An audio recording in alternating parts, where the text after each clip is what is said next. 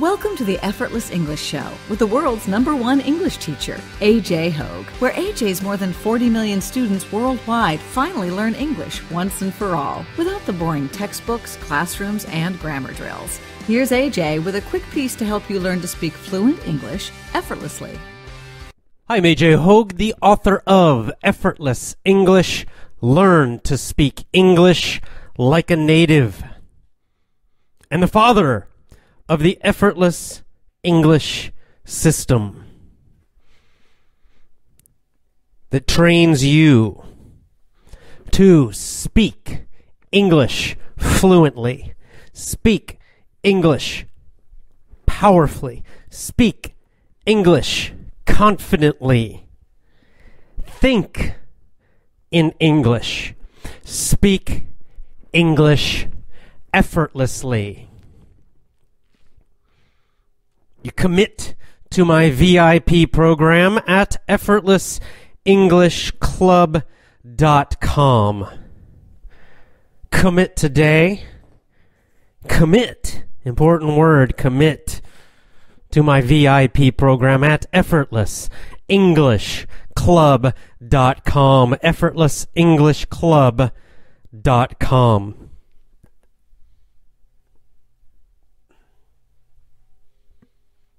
Everyone is fighting a great battle. I can't remember who's that quote, but that's it's kind of a famous quote. I can't remember who said it though. I'll just search online. You can tell me, tell me on Gab, gab.com. T- let me know who said it. But the quote is this. Here's the quote. Everybody you meet is fighting a great battle. Everyone you meet is fighting a great battle. What does that mean? What does that mean? Everybody you meet is fighting a great battle. Well, this idea, what the idea is of this quote, is that all of us, each one of us, has problems, challenges, difficulties, dreams, goals, pain, suffering, problems. Everyone. This is part of life. This is part of life. Cannot escape it. Maybe for some time during your life, everything might be really easy, no problems, everything's fantastic, but eventually, eventually, you also are going to have great battles, right? Great fights, meaning great challenges, problems, difficulties. All of us, every human, this is part of being human. You could even say it's part of being alive because even animals have to struggle. Everyone you meet is fighting a great battle. You know, an emotional battle, a mental battle, a spiritual battle. All of us. Now, this quote this idea is not meant to be sad or negative, but it's the opposite.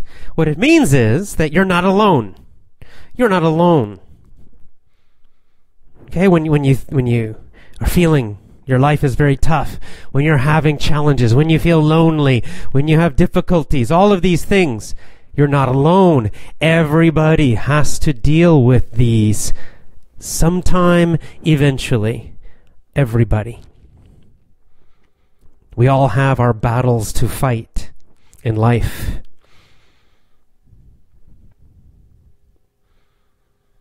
So you're not alone. I know sometimes it feels like you're alone, especially when life is very tough, but you're not alone. And not only everybody you meet now, but also from the past all your ancestors, all those generations of humans for thousands and thousands and thousands of years face so many problems. And you can read what they wrote. Right, this is such a great gift so special we have that we can read what many of these great ancestors, people from the past, what they wrote. And we see they had the same questions about life. They struggled with the same basic problems of suffering, of pain, of difficulty, of loss, all these things. You're not alone. You're part of life. You're part of all humanity now and then going back thousands and thousands and thousands, maybe even millions, hundreds of thousands at least, years.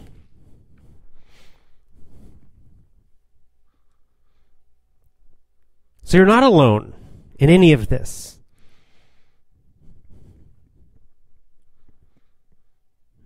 This is why reading those old books, why it's so important. Because you're not alone. You don't have to figure these things out all by yourself. Read what the great people from the past, what did they think about all these problems and difficulties? What answers did they have? The philosophers, the sages, a sage is someone who's very wise. The saints, the prophets, the scientists, the thinkers, the warriors, the kings and emperors, the poets.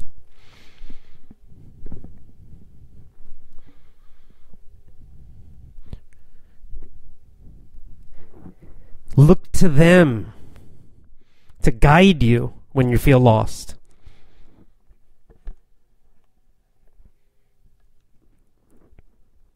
This loneliness I mentioned in the last show, I feel is one of the deepest and biggest problems of our age. Our age meaning our time period. Age has different, we can use it in different ways. This word age, of course, the most common meaning of age is, you know, how old are you? I'm 36, right? That's your age. But also we use age, the word age, it means a time in history, a period in history, right? We can use, say the modern age, the modern age, the industrial age.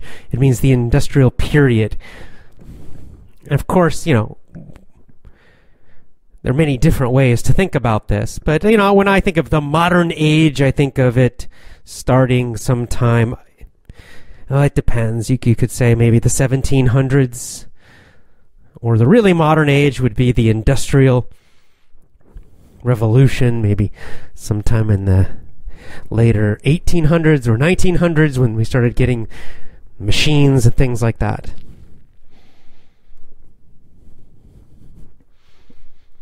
Especially as the 1900s, so the last hundred years or so, something like that, a little over the hundred last hundred years, where we really see this this issue, this problem of loneliness, loneliness, such a deep loneliness, a feeling of disconnection, like our connections are very important feelings of connection are getting weaker and weaker and breaking apart.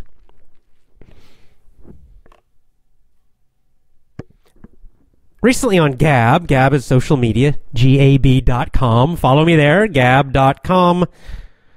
My name on Gab is AJ Hoge, AJ H O G E. Follow me on Gab. But on Gab, uh, somebody posted something about loneliness and how, you know, this idea of loneliness. And it was kind of an interesting post, an interesting article.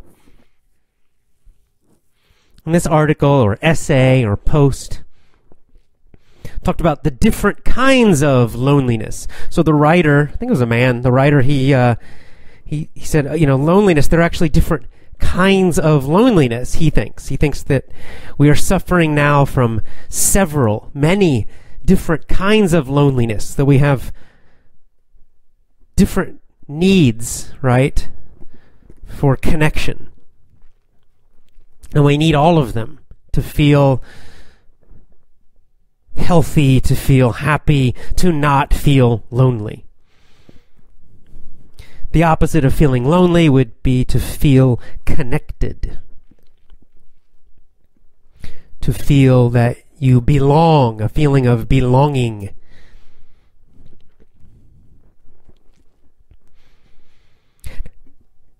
This did not used to be such a problem. When you read uh, ancient stories and ancient books, this you don't see the same amount of loneliness, loneliness, loneliness. This feeling of disconnection. Not usually. It was kind of an, uh, it would be a very unusual thing. That would be very, very painful for the hero of a story in the past. But now, when when we read stories, it's such a common thing. And I think, you know, not just reading stories, just when I meet people, this feeling of loneliness is, is killing us. So let's talk about the different kinds of loneliness in the article, and then I've, you know, I kind of, I've added to his list. He identified three, the writer, but I think there are four. The first kind of loneliness, a lot of people will only think of this one is the loneliness for uh, a man or a woman or a girl or a boy. Right? It's that, that loneliness of, let's say if it's a boy, a teenage boy, where he feels that desire for a girlfriend. Or if it's a man and he's single, a feeling of loneliness because he doesn't have a girlfriend.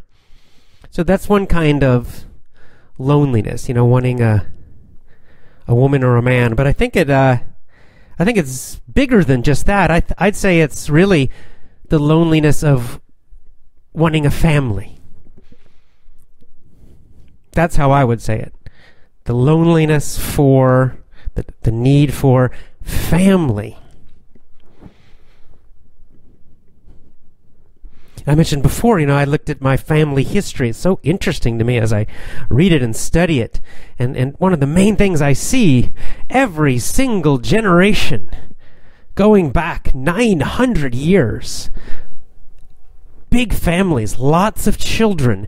Every generation, lots of children. Until, well, in fact, until my grandfather. So that's the World War II generation. And then suddenly, small family, only two kids. And then my dad, again, only two kids.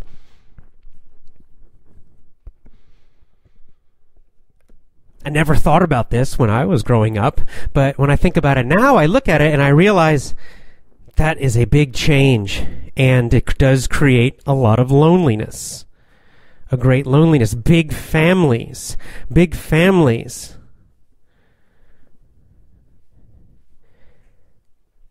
Eliminated that loneliness. Right? If you're if you're born immediately into a big family, you have several brothers and sisters. And then of course, if if everyone in the family has a lot of children, that means you also have a lot of uncles and aunts. It means you also have a lot of cousins. So you're part of, immediately, as a small child, you're immediately part of this big group, always and forever. They're always your family, forever your family. It's hard to feel lonely in that situation. I mean, really, you know, you're you're you're you're, you're never alone if you don't unless you want to be. It's interesting because when I look at my mom's family, my mom's side of the family, it's the opposite. Now they had my mom has uh, three brothers and sisters, siblings we call it siblings. Sibling means brother or sister. So my mom's family was still big. And it's very interesting because the family's much closer. There's much more of a connection between them. Right? They're they're they're close together. And you know what? They all have they all live in the same area. You know within i'd say what about an hour driving they can all visit each other so then the, there are several cousins and uncles and aunts that are all in that area so they have that big family connection even now my mother's age you know she's still very close to her I have one brother she's very close to, and then there's another brother she's close to, and then she's still close to her aunt. I mean, to her sister, my aunt, also. So there's none of that loneliness. She doesn't have that loneliness of family. And of course, then my sister also. My sister lives in the same town with my mom, and my sister has a big family, five children.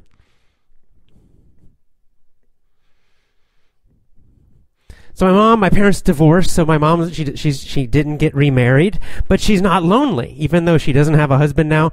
She's not lonely because she has so much family. But so many people don't have that now. So there's loneliness for family. That includes when you're single. That includes you know wanting to you know a girlfriend or a boyfriend. But um, it really means family, the whole big thing, because when you have all of that family, you're just not going to feel lonely. Not for that. The second kind of loneliness I would call loneliness for a people. Loneliness for a people. This means, you know, for your own people. It, it really means, you know, your own community. So going beyond just first there's family, right? And then there's a whole collection of families. Now community that might mean a city or a town or a neighborhood. Or community might mean a whole nation. But people who share the same values, the same language, usually the same traditions, the same general history. All of these things. This also gives you a feeling of belonging, a feeling of connection.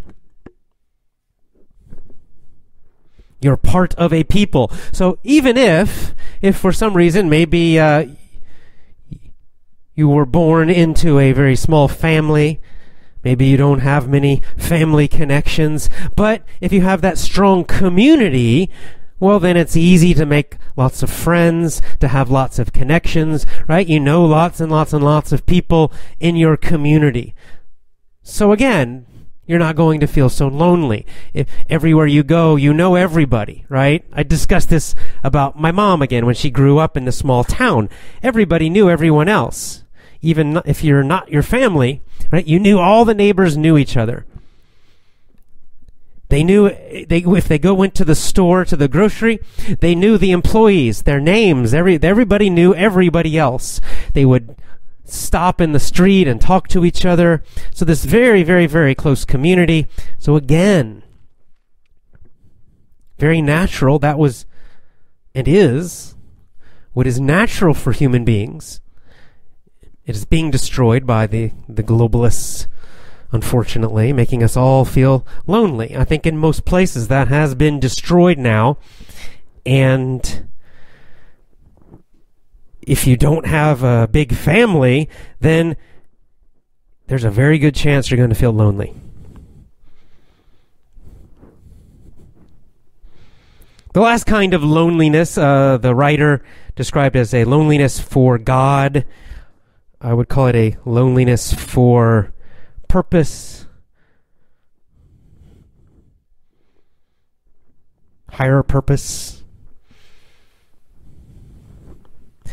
But again, something bigger than yourself. Meaning, purpose, God, faith, bigger than you. This also connects you to everything. So again, you don't feel so lonely because you feel like oh, I'm not separate. I'm not separate from everybody. I'm not separate from everything. I am part of all of it. Everything under God, under Tao, under Dharma, whatever words you want to use. And this is how so, so many of the saints could go off. They would go off into the desert or up into the mountains or the forest alone and meditate and pray, and they wouldn't feel alone. They wouldn't feel lonely because they, they were connected to this, you know, great spiritual, this great spirit, this great spiritual power, whatever you want to call it.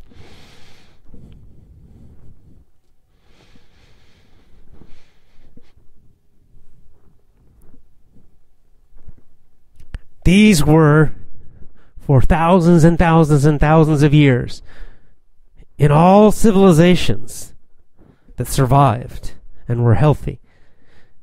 These were the three ways of belonging.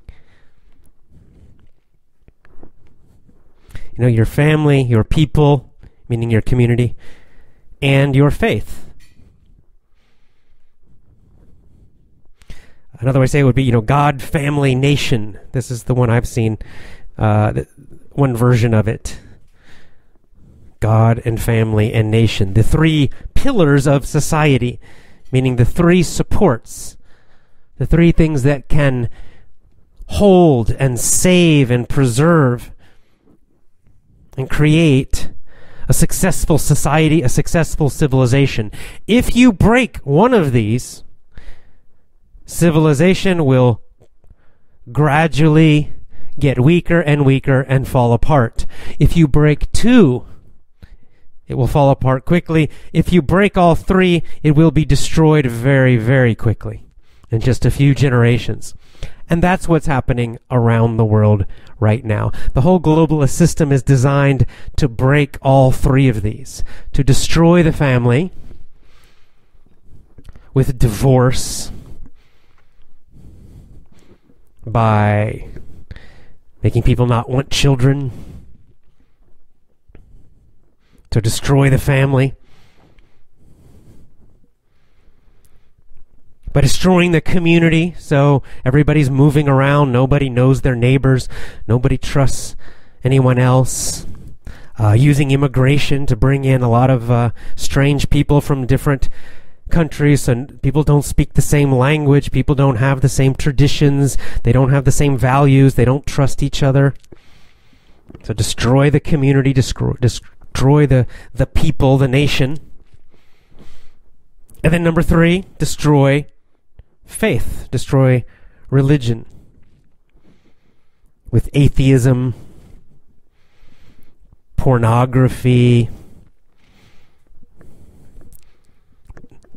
destruction of virtue and honor, all of these. And when you destroy all of these three, when you break these three pillars, these three supports of civilization, then it falls apart very fast. And then you see what we have. You see this disease of loneliness and isolation everywhere in the world very quickly, and it becomes deeper and deeper and worse and worse. You see this disease of young people who feel no purpose, no enthusiasm. It's very strange. You know, young people are supposed to be, traditionally, right? They're the ones with all the enthusiasm, who have so many big dreams. Right? Who are full of purpose. That's what it used to be like. I feel strange now. I'm 50.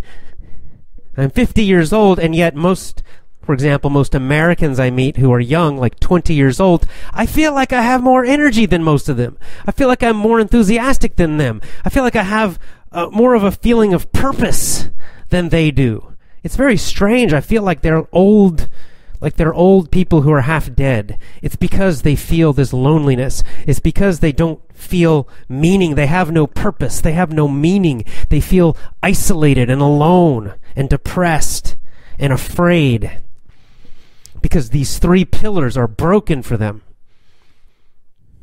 They don't have a community or nation anymore.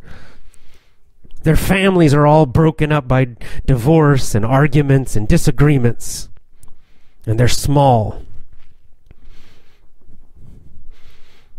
Their churches in America, traditionally Christian, so their, their churches are weak, full of weird, strange teachings. The traditions are broken. They don't trust their churches either. All three broken. And so America's falling apart very quickly. Very, very quickly. It's going to end very, very badly. But it's happening you know, um, it's happening quickly in America. It's happening even faster in Canada. But it's happening in most countries around the world at different speeds. It's a tragedy. All of human civilization under threat. So this is why we have all around the world so many people depressed, lonely, feeling no purpose in life. What does my life mean?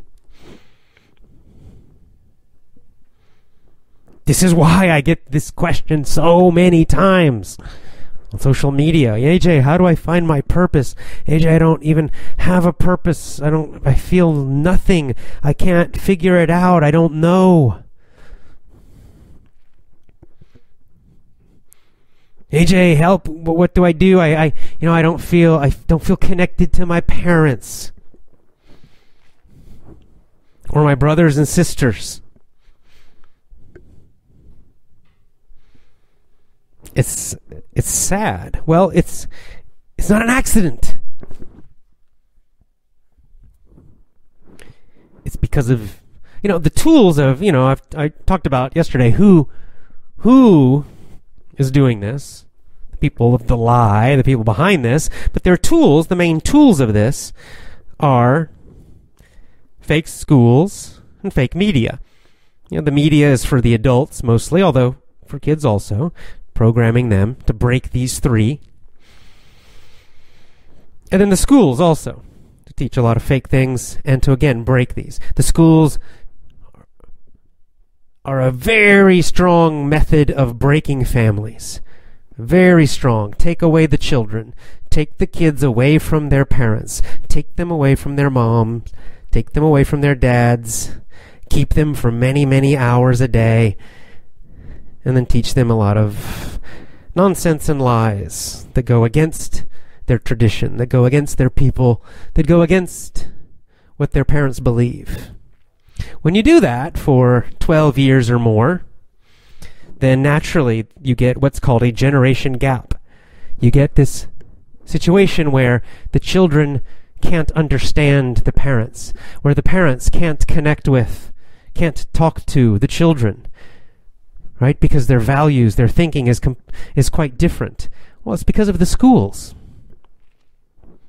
It's because the parents did not educate their children. The parents were not the educators. Somebody else was. Who? Government workers, paid by the government, controlled by the bankers. That's why I hate the schools so much, why they are so dangerous, because they are family killers. They are designed to weaken your family. It's, it's not normal that kids, meaning young adults, you know, 18, 20, 25 years old, it is not normal that they have so many problems connecting with their parents. Of course, it's not everybody. Maybe you have a great connection with your parents. I hope so. But, you know, go look around. It's not, the usual situation is that teenagers and then, and older, kids in their 20s, youth in their 20s, that they even if they you know they love their parents and there's no there are no big problems there's just a communication gap they don't understand each other and this makes the family quite weak and then the media the fake media is the second method or tool that's used to destroy everything because the media tv news movies, newspapers, all of that, continues the lies from school for adults. So your whole life, you're getting these lies, right? So you're going to see again, they're always attacking your community, your nation, your tradition. Always, always, always, they'll be attacking these things. Telling you it's bad to be loyal to your own people, telling you it's bad to follow tradition, telling you everything old and ancient is bad and evil and racist and all these terrible things. Right? They're breaking the community in this way. Breaking your traditions, breaking the community, continuing weakening the family. They send messages for young men and young women. What? Go out, drink, party, right? Date a lot of boys, date a lot of girls.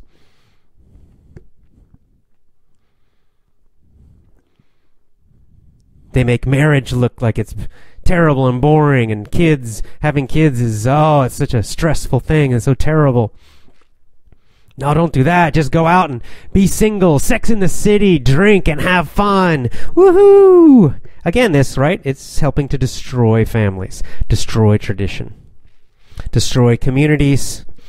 And of course, the other thing you're going to notice is that in the media, that anyone who is religious, who believes in God, who is uh, uh, self disciplined, they make them look like they're either stupid or crazy, right? So religious people are crazy, like crazy terrorists, or religious people are crazy racists, or they're really stupid. You're going to see this in the media constantly all the time. They're not going to show in the news or in TV or in movies. They're not going to show or discuss the very, very, very intelligent religious philosophers and philosophies and ideas, the great morality, the great traditions. You're not going to see any of that because their goal is to, again, to break and destroy these religions, these philosophies, even. And again, replace it with what? Materialism. Buy, buy, buy. Party, party, party. Pleasure and things. Pleasure and things is what they're selling you. Buy lots of things and have lots of, you know, pleasure, physical pleasures.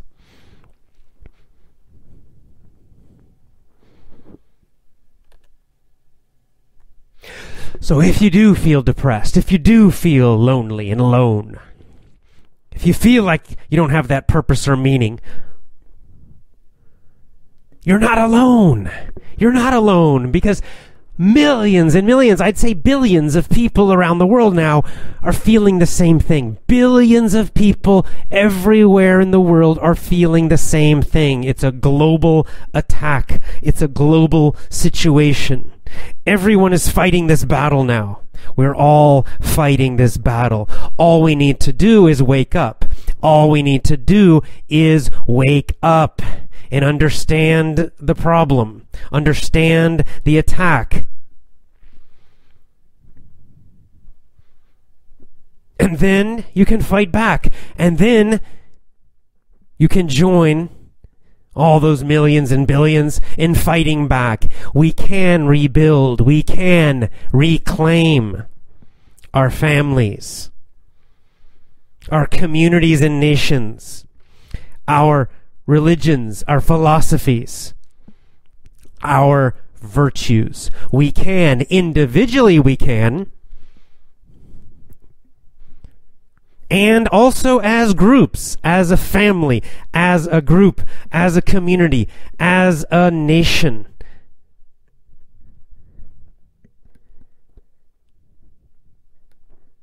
As the world. We can and we will fight back. And I do see this. I see it online a lot. It's only online right now, but I think people around the world are waking up to this. They're starting to wake up. People are starting to realize it's not just me. It's not just me that feels lonely. It's not just me that that is seeing this this destruction of the family and the community and faith. People are waking up everywhere. And how do you fight back? How do you heal this so that you don't feel so depressed? So that you find a purpose? Well, what a great purpose. What a great purpose to fight back. What a great purpose to rebuild family, community, and faith. What a great battle. That'll give your life some meaning to fight for those three, to make them stronger in your own life and in your country and in the whole world.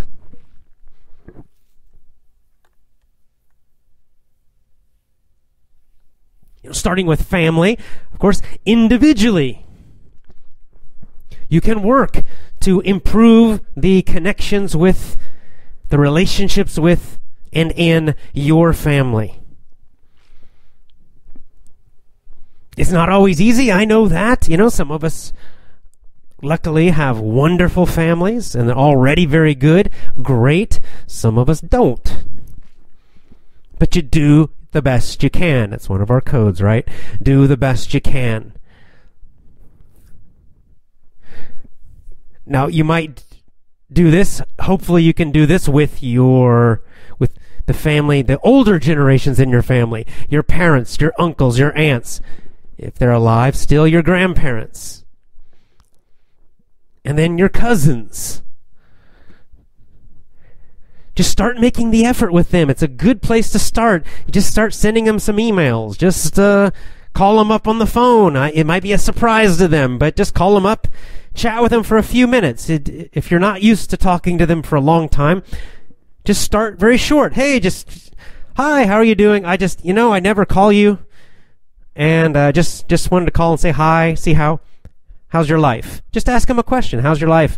What are you doing? How, how's life? Let them talk for a few minutes and then say, okay, well, great. Hey, good talking to you. Great to talk to you. Talk to you again soon. Start there. If they live close enough, you know, invite them to your house for dinner. Go to lunch with them.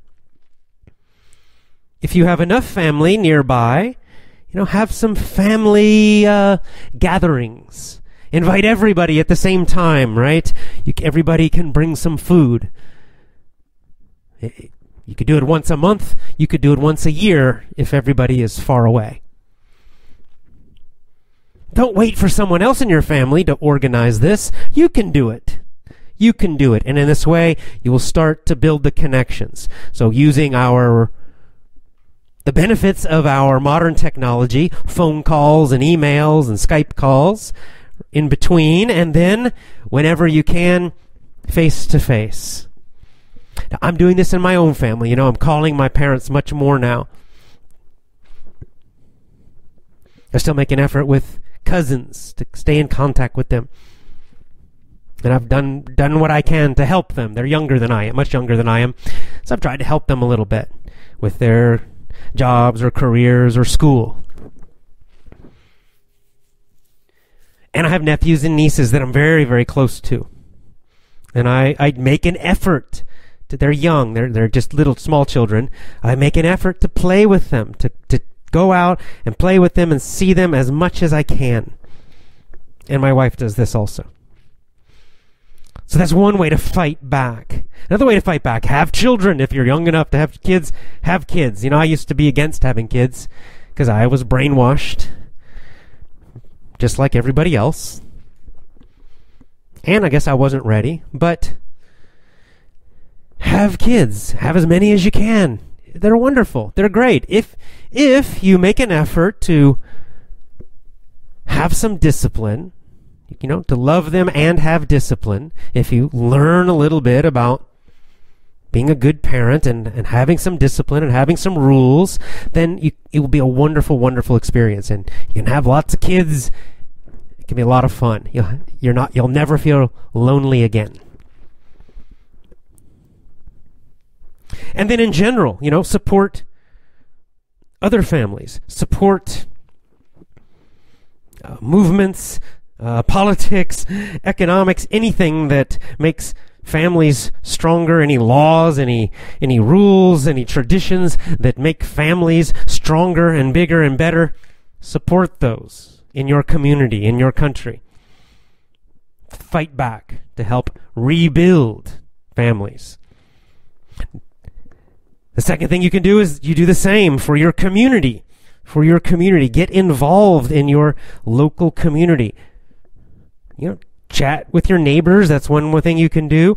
Or another one you can do is uh, the shops or the businesses you go to regularly.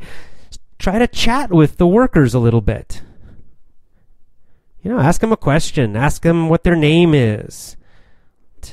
Tell them your name. Start to, you know, to just to form a little bit of a connection. You're probably not going to become super close friends. That's not necessary, but at least they become a real person, right? With a name and you can start to have little short conversations and they recognize you. Then it's more of a connection. It's more of a community, not just some worker. And you're not just some customer that they don't know.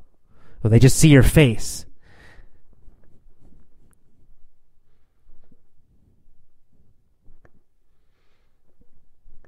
You could get in, involved in, uh, you know, different clubs and organizations and things in your community. That's another way to do it. If you can, with your job, you could try to move to a smaller community, smaller towns, get go someplace where people automatically just know each other more. Another thing you can do, you can try to do, is don't move around so much. Now, I'm giving you advice that I did not follow for my life. as a child, my father moved me around constantly, and then uh, as a single adult, I have moved around a lot, a lot, a lot, a lot. But I am changing that. I've decided enough of that. I still travel, I still like it, but I realize that, you know, raising a family and uh, having a family, I need to be, have some roots, not be wandering around everywhere. So do that, especially if you have kids. Don't move them around a lot. Keep them in one place. That's how you build those communities. And again, you know, and with politics, with your nation, with your country, support laws, support rules, support movements that make communities stronger, that make your nation stronger. So people can stay in one place, so that tradition, the traditions and history of your culture are honored. Fight against anybody who tries to tell you your people are evil or bad or racist or something. You know, Marxists do this. It's a technique of Marxism to uh, attack. They do this in every single country. They will attack the history. They'll attack your heroes your traditions, make say that they were bad, they were evil, they were racist, try to make you hate your own people, try to make you hate your own culture, try to make you hate your own religion, try to make you hate your own history, try to make you hate your own heroes. This is a super common technique of the Marxists, of the globalists. They do this. They will do this in schools. They do this in the media.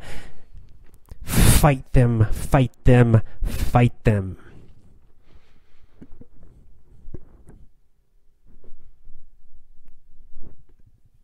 And then finally, number three, faith. Again, find that in yourself. Strengthen faith first for yourself individually. Again, I'm not going to tell you what, you know, specific religion to follow or even a specific philosophy to follow. That's for you to decide. I, overall, in general, I would recommend starting with the faith, the religion, the tradition that is from your ancestors, your nation, your family. If you're from a Christian nation, start with Christianity. If you're from a Muslim nation, Islam, right? A Buddhist nation, Buddhist. Now you might later decide that, you know, that another religion is better for you, or maybe just a philosophy that is not religious. Okay? But start by exploring your own faith first. And by exploring, I mean not just go to a church. A lot of churches have been destroyed now. A lot of this is true in Islam. This is true in um, it's true, definitely true in Buddhism. Uh, I, I'm I'm guessing it's tr- probably true in Hinduism, where again the Marxists, the globalists have taken control of so many of these groups. They've changed the traditional teachings, and so people go and then they just like this is disgusting. What is this? This is just politics. This is this is not what I want. And then they leave. This is the reason, you know, religion's having so many problems and so many people have a bad attitude about religion. Because again, so many of the religions they're they've turned into something that they they're not supposed to be. So for rebuilding your own faith, you've got to read the books yourself, okay? Read the read the books yourself. Start there first. If you're Christian, read the Bible yourself. You don't need someone else to tell you what it means. You read it. Don't just go to a church and let someone blah blah blah tell you this. Read it. And don't just read it, study it. And don't just study it, think about it. All of it together as one whole. After that, inst- again, don't just listen to some modern person teaching. They're probably, there's a good chance they're a Marxist, especially if they're Christian now. So instead of that, read the works, the books, the Christian books of the great Christian saints and teachers of the past. Augustine, St. Augustine, Aquinas, etc. I don't know all of, uh, there are many, okay? You've got a couple thousand, you got 2,000 years of Christian thinkers and saints and philosophers to read and study. Study those. Read those, okay? Because any questions you have, any doubts you have, any problems and confusion you might have, I guarantee somebody, some great thinker, some great saint already thought about it, already struggled with that problem, that doubt, and they found an answer. At least for them, they found an answer. Okay, you don't need some guy on TV to tell you. You don't need to. You're some local person who's uh, you know, who's basically uh, left wing Marxist communist or something to tell you the meaning of the Bible. If you're confused, if you're struggling, look to those old ancient philosophers and saints because you'll find much better, much, much, much deeper thought from them.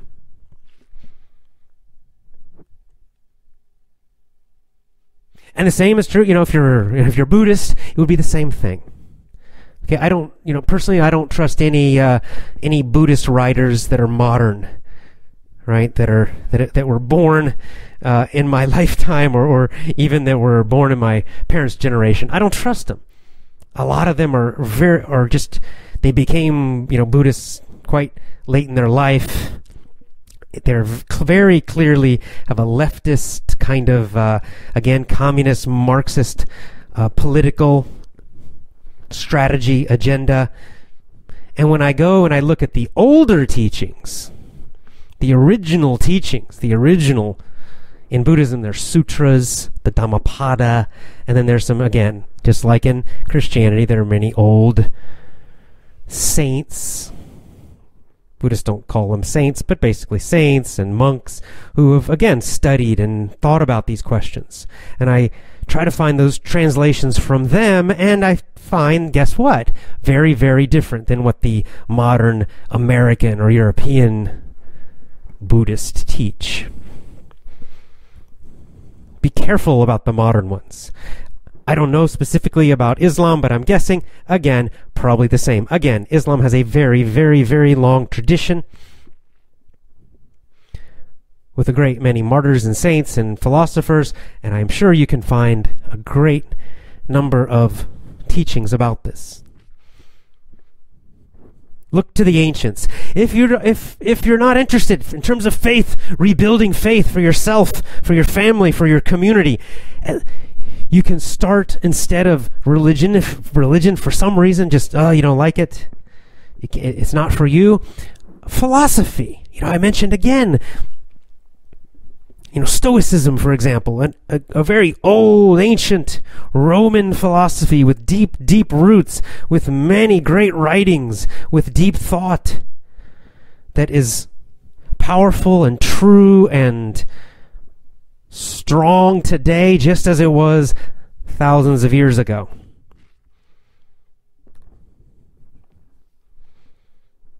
You know, in the East, there's Taoism, which is Chinese. But again, very, very, very old philosophy. Powerful. I'm a big fan of Taoism myself.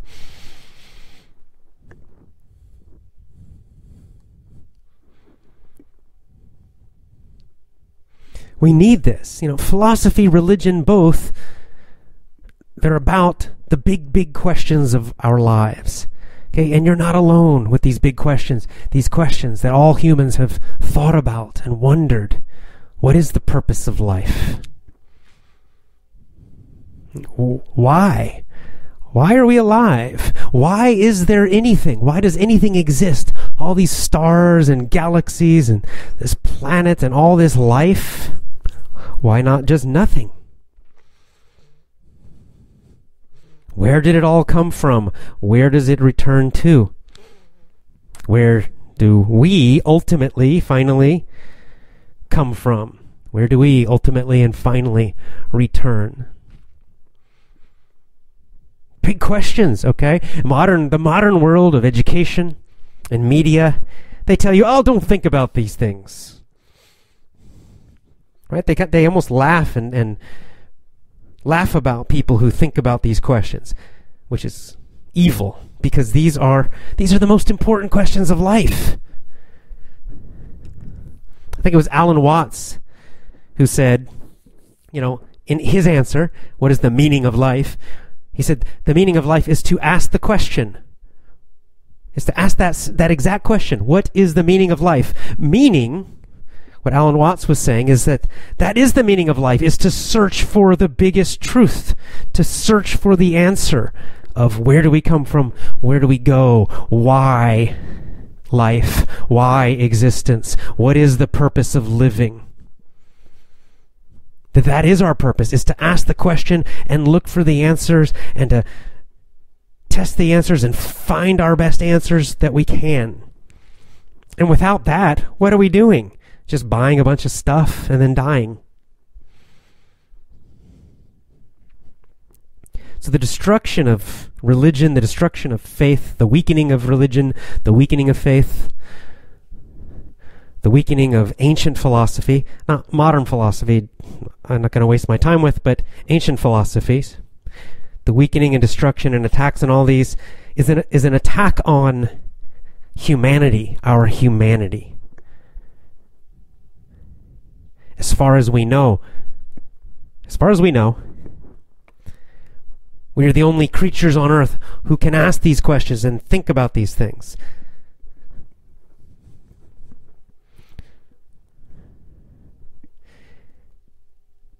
And as far as I know, most people at some point in life ask these questions. We have these questions, they come to us. It is a natural part of being human.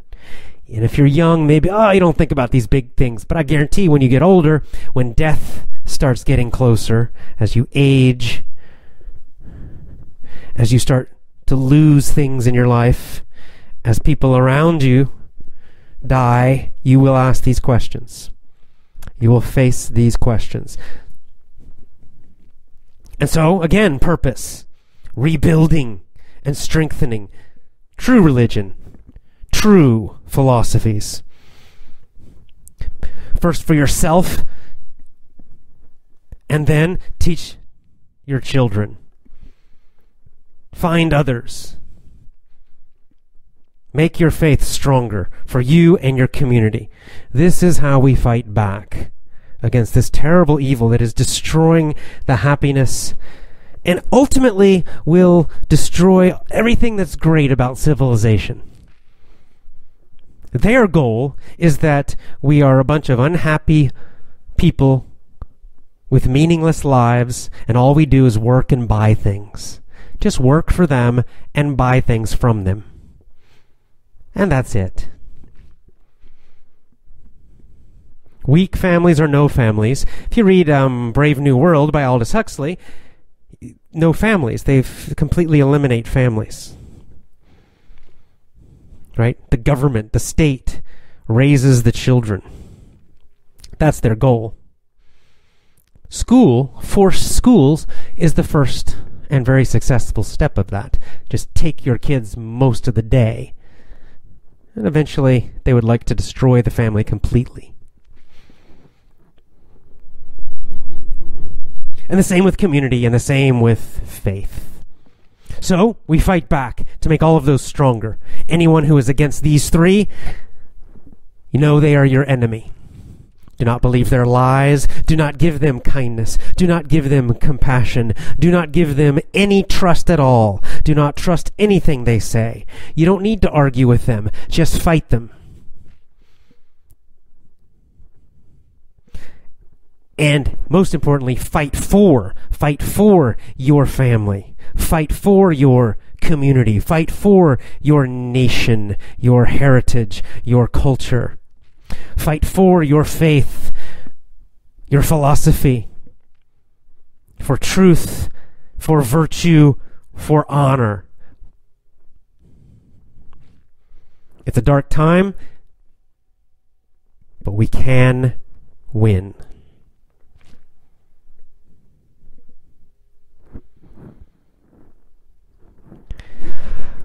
We will continue our book, The Seven Habits of Highly Effective People. We'll continue it this coming weekend. I'm finally going home.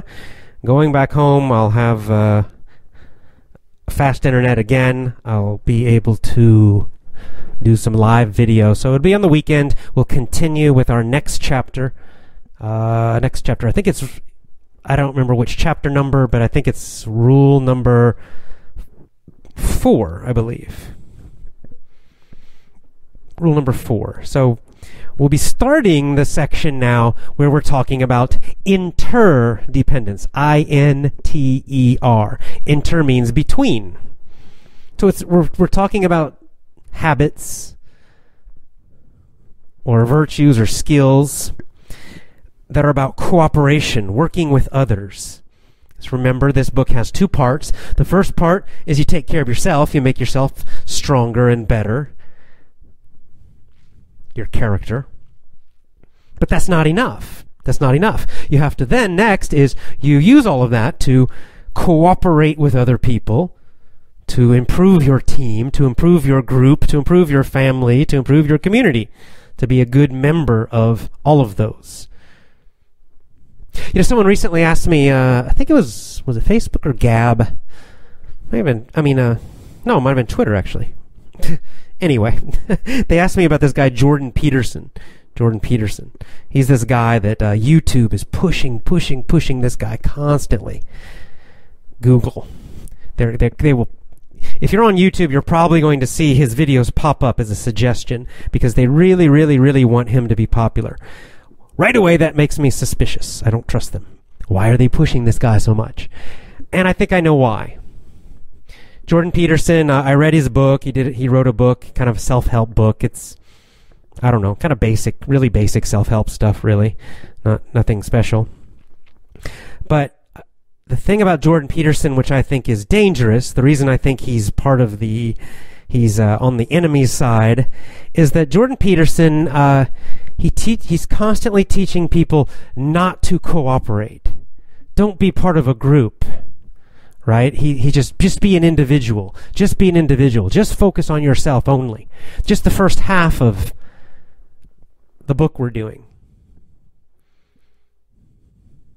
If you do that, then you become a victim. Then you then it's then you become weak. Okay, we we have to cooperate. We need groups. Identity. Identity is identity is not a problem. You should fight for your family. You should fight for your nation, for your people.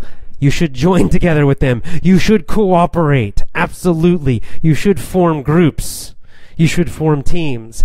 And yes, sometimes your team is going to have to compete against another or fight against another. Especially if they're attacking you, you have to fight them if they're attacking you, if they're invading you, if they're doing bad things to you, if they're lying to you, then you've got to fight.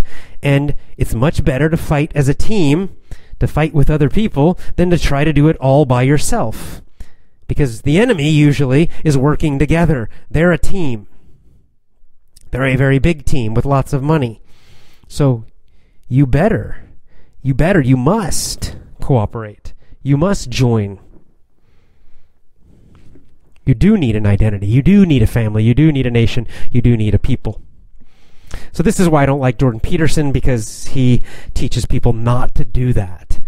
He's, he's trying to get people to just focus on themselves only as individuals, individuals. This is what they did in America to make everybody you know, weak and separate and lonely.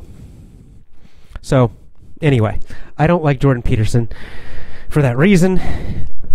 But I do like Stephen Covey in the book we're doing now because he does teach this, right? Half of his rules, his habits, are about cooperation, about working with others. We have to do that.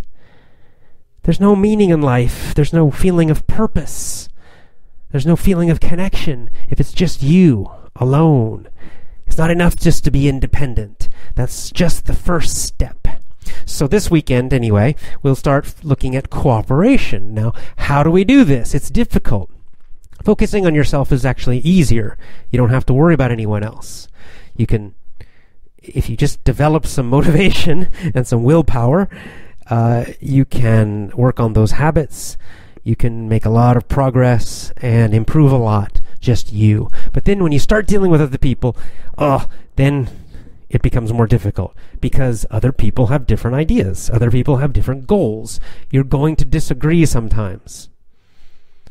There's also many times with other people, there's confusion, misunderstanding. You don't understand them. They don't understand you. How do we deal with all of that? So that we can cooperate. I mean, this is important for families, right? Parents, children, cousins, uncles, aunts, everything. It's important at work when you're working with other people, a team, a staff of people. It's important if you're a business owner. Uh, it's important in your community. Anytime you're dealing with other people, well, we need some skills, some habits for communication, for understanding, uh, for persuasion, for leadership, all of these things. Stephen Covey has some ideas about this, about some kind of three big habits he has that will help in this area. And we'll talk about the first one this coming weekend. All right, well, I'm glad you're part of our Effortless English family. Very happy, and we have such a great group. This is another thing that makes us special because I see with our Effortless English members, it's not just about English. You know that, I know that. But with our code, you know, we do the best we can. We do the right thing. We show each other we care. We have good, good, good people. We attract good, good people. And on the other side, I think we kind of repel, means we push away people who are not good. Or maybe another way to say this is uh, people who are bad, like the you know people who are very negative, people who want to uh, lie and cheat and all that, they just don't. They're not attracted to effortless English. I've noticed. You probably noticed, right? You can see on my Twitter groups, my Gab groups, Facebook. We just don't get those kind of people. Almost never. I think they can feel it. They can kind of. They look at all our comments and how we communicate. Maybe they listen to me and my show and they just realize, uh, this is not for me. I can't, I can't cheat these people. I can't attack these people. They're too good. They're too strong. They're too helpful. They have this code. And so we attract more and more and more and more good people. And the bad people just automatically stay away. That's how you create, by the way, a good group. You have to have the ability when you're with a group, you have to have the ability to do two things. Number one, to attract good people. And number two, you must have the ability to push away, to get rid of, to keep away bad people. You cannot welcome everybody. If you welcome everybody, then the bad people will come in and they'll start destroying your group very quickly. You'll see this online anytime, right? Anytime you like a forum or any kind of chat group or something if you allow everybody to come in and you don't block you don't have rules you don't have anything like that it, it will quickly be destroyed by the worst people. Some people don't like this. Mostly it's the bad people don't like this but you absolutely must have rules and you must decide who you want to come into your group and who cannot join. I have very strict rules, very tough rules about who cannot join Effortless English. It's very simple. Anyone who will not follow our code. anyone who will not do their best, anyone who will not do the right thing, anyone who will not show other people they care, they're not welcome. They're just not welcome. Now, if people are quiet or shy and they just kind of stay quiet, that's okay. You can join, of course. But anyone who does the opposite of those, right? Anyone who comes in and they're just they're lazy and they complain all the time, for example. Anyone who comes in and lies and cheats and criticizes everybody else. Anyone who is, you know, very super negative, I, they're blocked. If they buy my lessons, I give them a refund and they're gone. They're out. So, same for you. If you're trying to make your, uh, you know, some group, whether it's your company or any kind of organization, especially important if you know, like a church group or anything like that, get rid of the bad people. Have very, be very, very tough about that, and then your group will become much, much stronger. So I'm happy to have you because we do have a wonderful, great group, super international, all different countries and religions and ages and everything. We all respect each other even though we're not the same.